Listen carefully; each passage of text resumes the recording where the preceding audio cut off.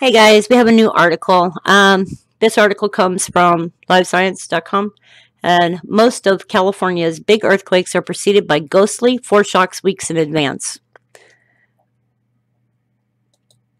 So we're going to go over here and we're going to put this on the earth here. And it says foreshocks, the tiny, sometimes imperceptible tremors that precede massive earthquakes are way more common than we thought. How do earthquakes begin? It's an ancient question, and while scientists have ruled out vengeful gods blamed over the past few millennia, agreeing with tremors, agreeing that tremors are more a matter of grinding plate tectonics than a Poseidon's wrath, many facets of this seismic puzzle remain murky. One ongoing mystery is the phenomenon of foreshocks, small, sometimes imperceptible tremors that can precede larger quakes in the same area by several days or weeks. Studies have found that anywhere from 10% to 50% of large earthquakes follow these mini shocks.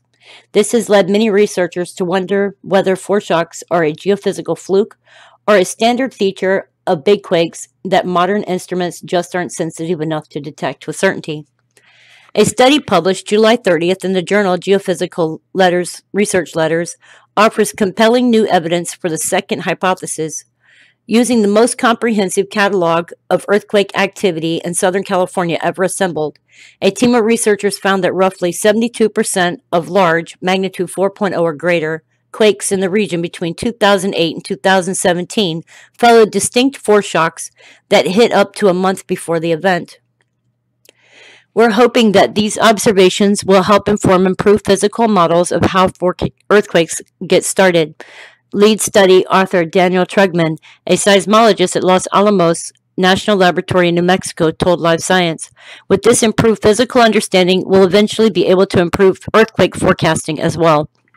Trugman and his colleagues began their hunt for foreshocks by compiling a catalog of some 284,000 earthquakes detected by various monitoring stations around Southern California between 2008 and 2017, using a technique called quake template matching or QTM. The researchers trained a computer to recognize the distinct waveform these quakes created, then scoured the records for hints of smaller quakes showing those same vibrational patterns, hints that lay hidden in the constant rumbling background or noise of Earth.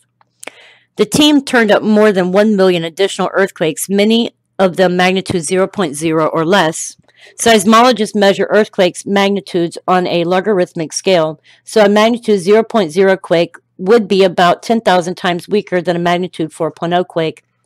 In total, the researchers expanded their catalog to include 1.81 million earthquakes, or an average of one quake every three seconds over the past 10 years, Trugman said. From this expanded list, the researchers picked 46 quakes with magnitude 4.0 or higher to study for foreshock activity. But first, the team had to calculate the average number of earthquakes near each fault line in Southern California. If you pick any point in Earth's crust, especially near an active fault zone, there's going to be a background rate of seismicity, Trugman said. To show that there are foreshocks, you have to demonstrate that there are more earthquakes than you would expect leading up to a larger event to the larger event.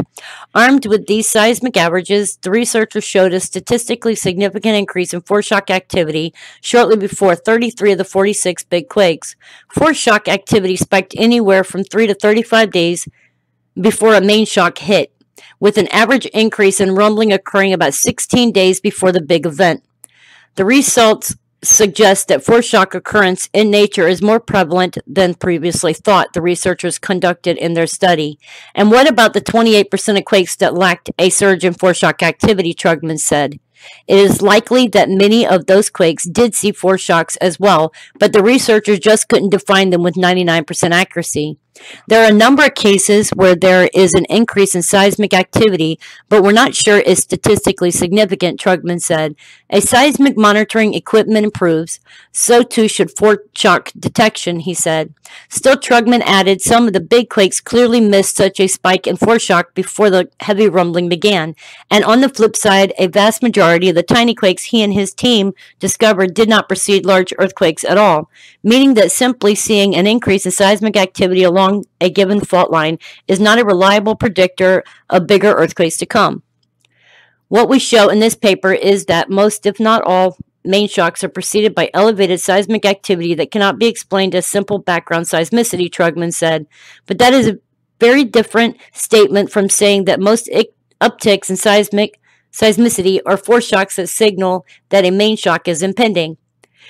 This all shows that the processes that initiate earthquakes are quite variable, Trugman said, reminding us that seism- seismologists are still a good ways away from being able to forecast earthquakes with any certainty.